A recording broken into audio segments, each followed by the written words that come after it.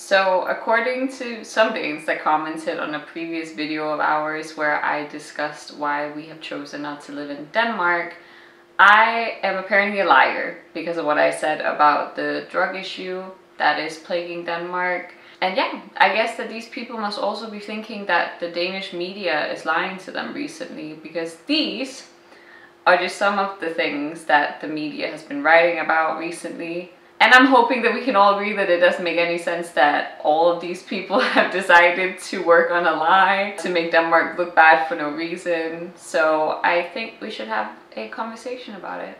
We're going to do a quick disclaimer because this video is not meant to point fingers at people who have what is per definition an illness. Addiction could hit anyone in society and it's not something we should judge people for when they're already in a tough situation. This is purely a commentary on what is happening in Danish society and the only people I will be pointing fingers at are the people that I feel like can do something which are politicians in Denmark. So I think you have some personal experience about addiction. Yeah. I grew up having a mom who was addicted to alcohol. My mom got into rehab when I was in my 20s. Today she works with other people who have addictions to either alcohol or other substances like drugs. So it is a thing that's very close to me personally. It's a thing I take very seriously because my life was affected by it growing up. Being a Dane seeing how it has developed in Denmark and how it has become more and more common when I've been out partying. I've seen more and more drugs in the past few years. And I would say it's a very obvious increase.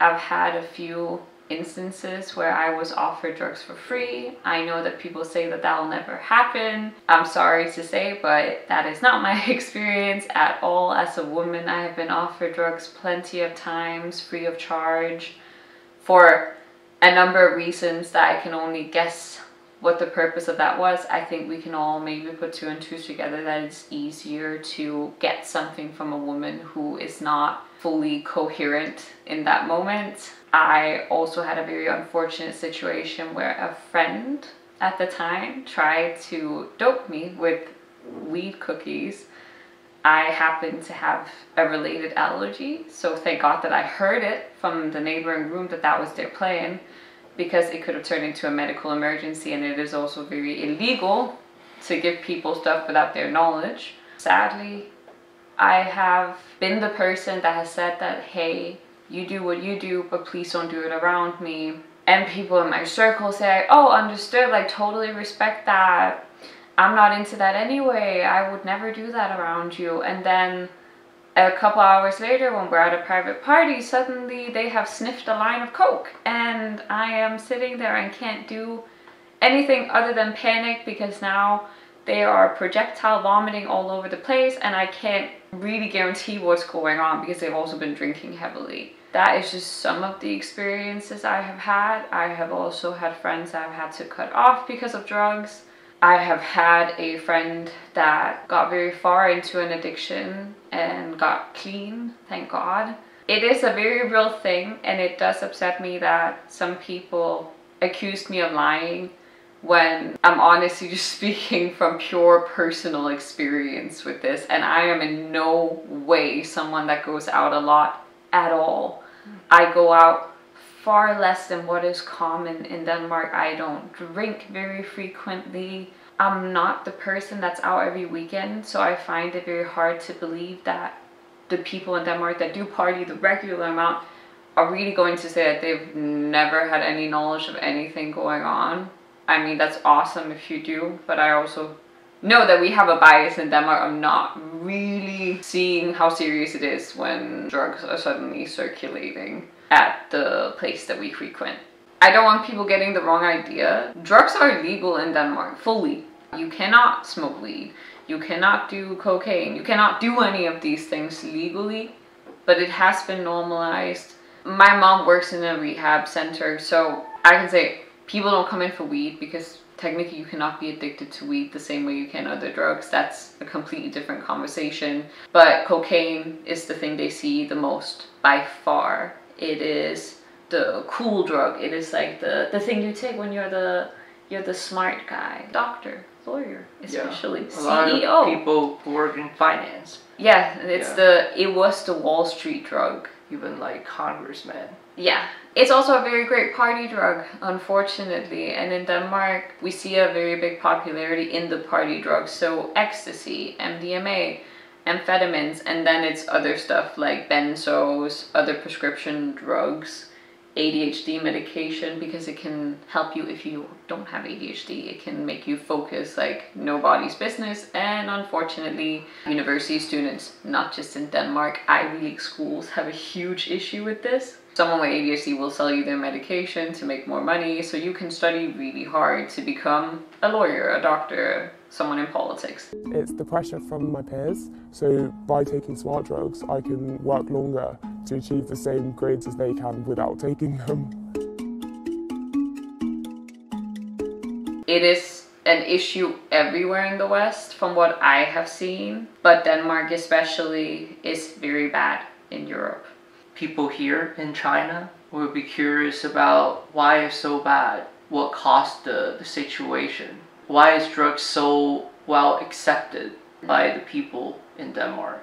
So first of all, to put it out there, like I said, anyone can get addicted. It is also a genetic component that you can have the genetics of someone who's easily addicted to things. So if you have a parent that suffered with addiction, it's more likely to be in your own genetics that you could have the same issue. So that's the biological side of all of this. And then mm-hmm. there's risk factors that increase it. So if you drink frequently and if you smoke cigarettes, you are more likely to experiment with drugs. Mm. Statistics show that that's true. And we have a very, very heavy drinking culture from a very young age in Denmark.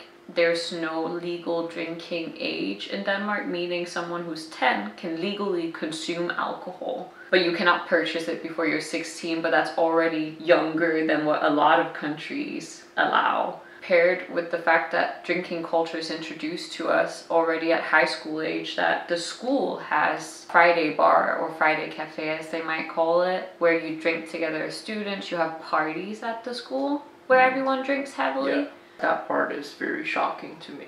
Students can first can drink, second they can drink at school Yeah. together, and there's bar in school. you know, you don't just go to the party at school. Usually you go to a pre-party, so you're already drunk arriving there. So of course all of these things create an atmosphere. And I would say it's it's not like there aren't people that don't do it, but it is difficult if you're not a part of the group and there's a huge group pressure which is what you're seeing with kids and drugs now because kids are being introduced to drugs to my shock too actually as young as middle school that they can buy it via Snapchat Noget af det, vi også har beskrevet, det er, at folk sælger stoffer på gangene og sådan noget. Er det noget, I har oplevet? Ja, ja, der var ret meget. Hvordan foregik det?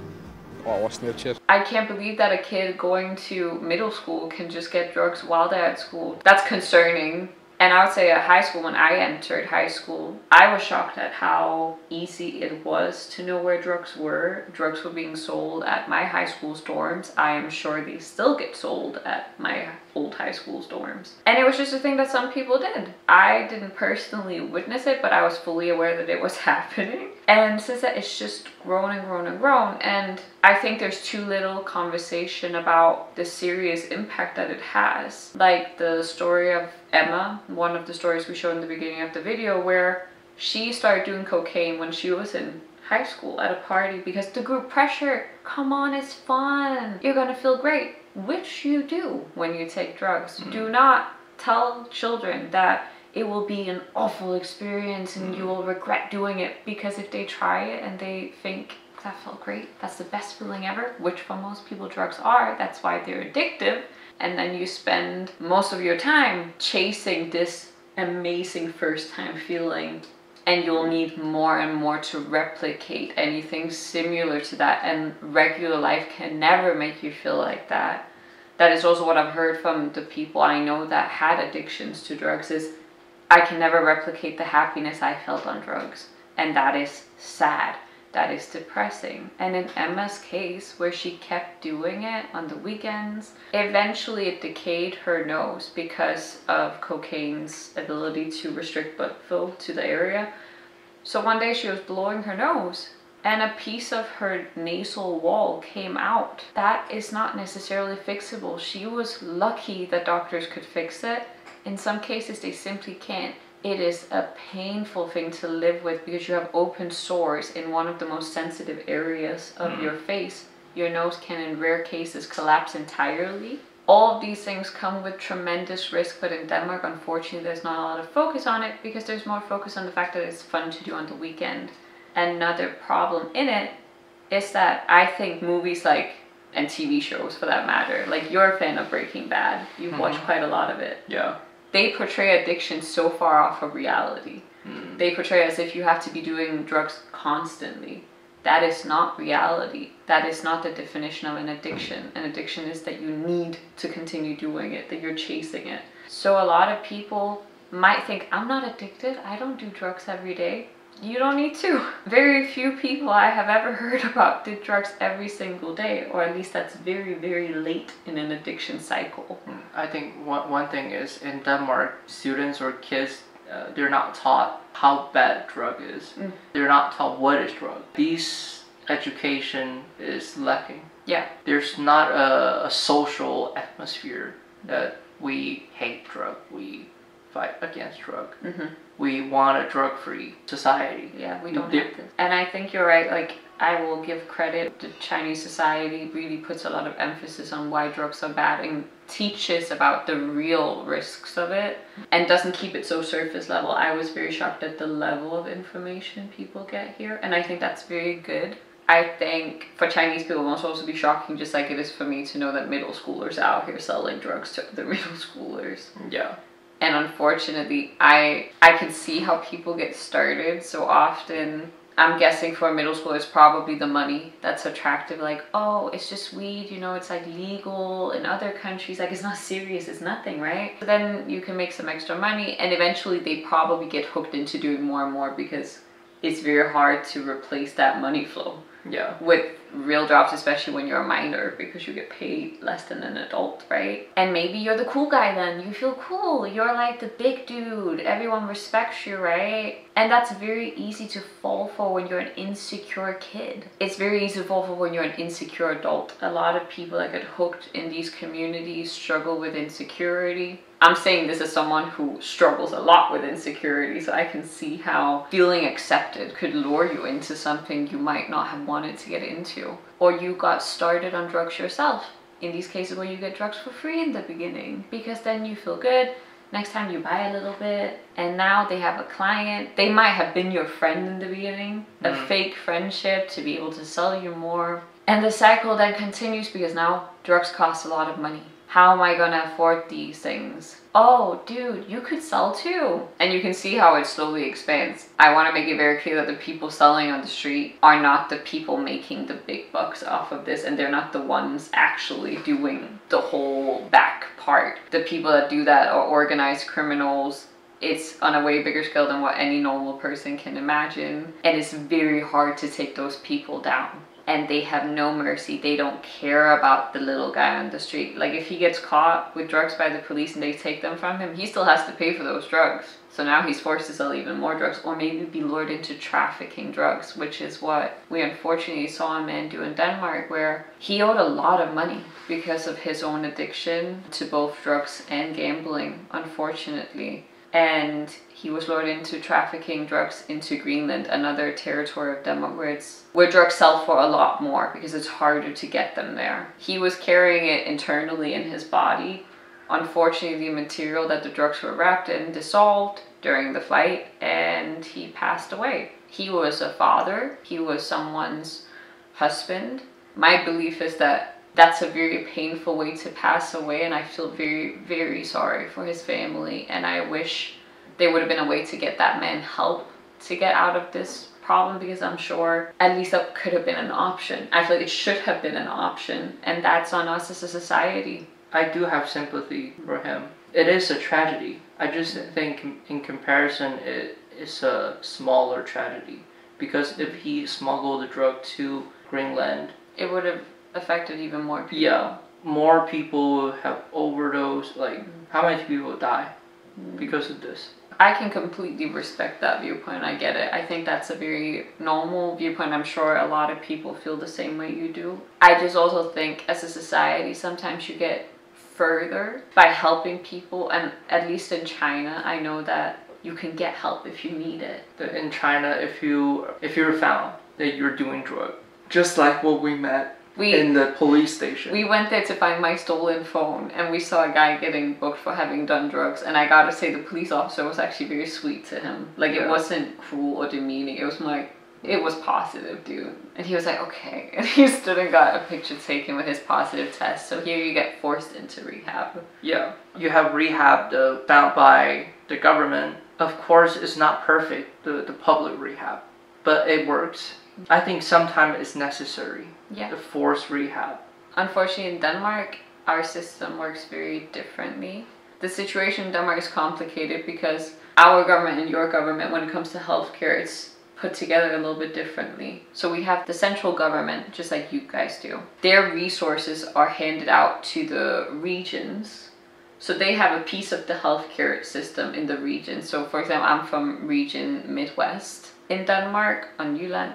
And then further things are then split into counties and they are the ones in charge of what they're willing to do for you when it comes to addiction and unfortunately in a lot of them it is nothing or very very little in my mom's case where it was alcohol they were willing to offer her that she could go take this thing called Antabus, which is not approved to be used in hardly any countries because it's actually a toxin and it can kill you. But it's supposed to not make you drink anymore, and it doesn't. It has been proven that it doesn't, but the government in Denmark unfortunately makes money off of this drug because it was invented in Denmark, and that is disgusting. We really need to stop using this bullshit because it hurts people and it can kill people, and I hope that that's not what we want to do when we treat people with alcoholism. Mm-hmm. With drugs, there's even less resources in my experience. Some people are lucky to be in a commune that are willing to send you to rehab or pay part of it, or you might have a job if mm-hmm. you're really lucky where your boss has sympathy with this and will send you. But in most cases, you'll be paying for it yourself, and it's expensive to go to in person treatment. I think the fundamental difference is we see drug or someone doing drug as a threat to the society. Yeah, it's like a social illness. So of course the society as a whole needs to pay to prevent it. I, I guess a lot of things we would see as some other people's personal problem. From my perspective, mm-hmm. drug is never a personal problem. But addiction affects a lot more than just that one person. It affects their kids that will almost guaranteed need to get help psychologically from what they grew up having to deal with because it's a very, very unstable environment to be stuck in and you can't do anything. There is health complications that they will end up in in Denmark since the healthcare system is free. That's also something you'll be paying for. So it's in everyone's best self interest, I think, as a society to help. And I also just think it's the most humane thing to do, especially from the perspective that Denmark does call itself the welfare state. Unfortunately, as it stands right now, that welfare state does not cover people that have addiction problems in a functioning way. I'm sure a lot of people have heard about Christiania. It's an area in Copenhagen that's like a free state. And in Christiania, you have what's called Pusher Street. Pusher Street today is run entirely by gangs the people that live in Christiania really don't want you to go there and buy these drugs. Like they're begging people to please don't go there as a tourist and buy drugs because you're supporting organized crime that is affecting their community. Police did take it down very recently for the first time, but I don't know if it stayed gone. I haven't seen updates about it, but I could imagine that it probably won't work to just do it once. But the government could definitely do a lot more. The punishments for drug dealing are extremely low in Denmark on average. You really need to take it very, very far before they do anything serious to you. And that's a criticism I see Chinese people give Scandinavian countries in general is that our punishments are so lenient that it doesn't produce a result. Yeah.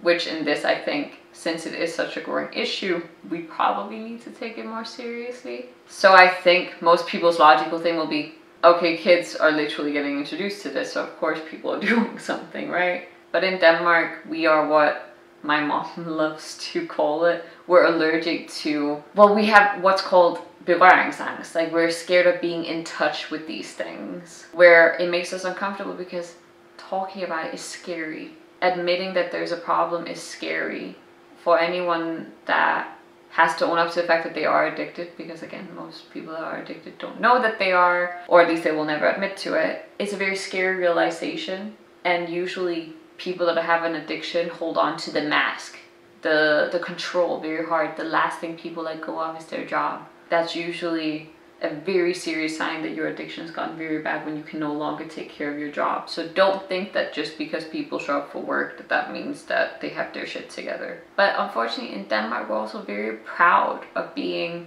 the country that was at the forefront of the freedom movement, the freedom of sex, the freedom of freedom to explore who you are, freedom of everything. And with that came drugs in the late 60s, 70s especially, where Denmark really was a beacon in this. You can decide if you agree with that or not. I'm guessing a lot of Chinese people won't necessarily agree with this, which is fair. But this has also made it so that people are a little bit scared of kind of being controlling of others, saying that, hey, doing drugs is not good for you. I know that I have been called like the boring person for being like, hey, so you do know this has risk, right? You could actually end up having a mental issue for life because of doing drugs and it's not something you can spot or prevent. It just can happen to you. And people are like, oh, you're over exaggerating. You're being annoying right now. Because it's not fun. I'm not yeah. acknowledging the fact that, like, oh, it's just something I do on the weekend, Julie. I'm just doing it at a party. And I get that that's how it started. I get it. I so get that it's very easy to fall into that. I can't say how my life would have turned out if I didn't grow up with a parent who had an addiction. I'm sure my life could have looked very differently if I hadn't been a little bit nervous about binge drinking like a lot of my peers were doing on the weekend. Because in Denmark, it's not uncommon to know people, especially during high school and university days, that drink four days a week and they drink a lot and you drink a little bit here and a little bit there. That's just a cultural issue and it's also one that probably needs addressing if we are to change this. And I think that's going to be a big task, but I hope that we can push for it. I really, really hope so. So in hmm. recent statistics that were just collected, Denmark is the country in Europe that does the second highest amount of cocaine. The only one beating us is the Dutch. The Netherlands is pretty much like a big harbor, so it's very easy for drugs to make their way into the country. Now at the border of Denmark, we're seeing more cocaine being stopped at the border than ever before. We had more than 800 kilos of drugs wash up on our shores, which has never happened in these amounts before. There is a very scary thing that is happening, and I fear, as someone who does love my home country, believe it or not, that this could evolve into something that we can't stop again. And I think for Chinese people, you guys emphasize with that or empathize with that because Qing Dynasty is literally the worst scenario of drugs taking over a whole country. Yeah, I think Chinese people know how hard to stop it. Think about it. The first Opium War happened in 1840s. Since then, after 100 years, we finally banned opium in this country. So it, it is difficult if you if your society normalizes it as a, a part of the society, just like cigarette or alcohol. Mm-hmm. It's hard to quit. It's like your whole society addicted to it. I'm fully aware that hearing all of this is a lot of information to take in and that for a lot of people it might be a bit shocking to hear this about Denmark because we do have a very strong image of being this amazing fairy tale country where everything is just magical and perfect and there's no problems at all but we're also just a country and every country has problems. I also know that for danes that might be watching this that this can be very hard to confront and it's uncomfortable. I'm sure that the people that left those comments calling me a liar don't actually have a problem with me. It's just a very uncomfortable thing to be made aware of.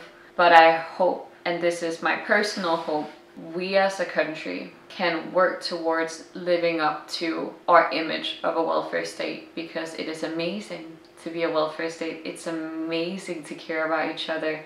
Næstekærlighed, all that is a part that I love about Denmark. It makes me so mm. happy. Growing up with that was magical.